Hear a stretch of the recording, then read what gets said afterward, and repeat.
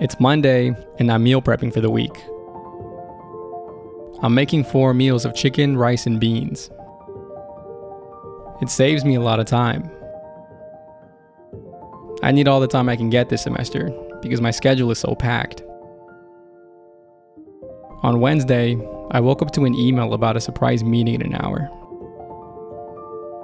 My group and I met with a physicist He's an expert on a quantum information recovery problem.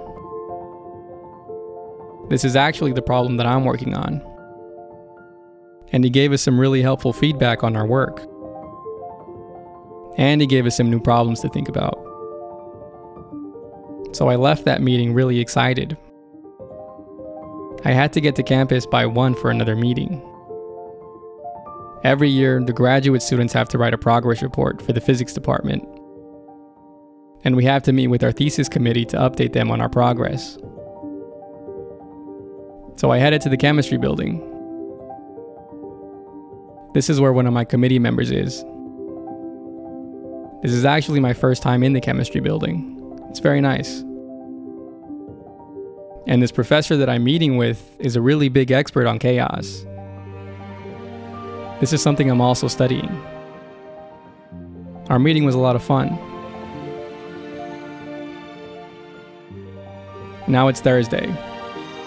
The physics department had a cookout today, so I didn't bring a lunch.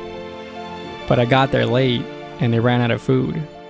So I had to go buy a burrito before my next section. Over the weekend, my family came to visit me.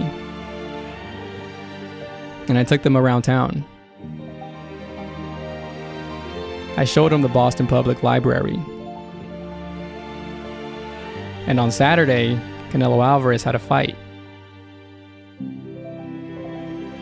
He's a Mexican boxer, and it's a really big fight. So we called around town to see if any places had it on. But they all said no. Around midnight, I walked by a Mexican restaurant. The doors were closed and the lights were off. In the back all the workers were crowding around one TV. They were watching the fight. There's not a lot of Mexicans in Boston, but the few there are were watching this fight. Because on that day, we got to see one of our own be great.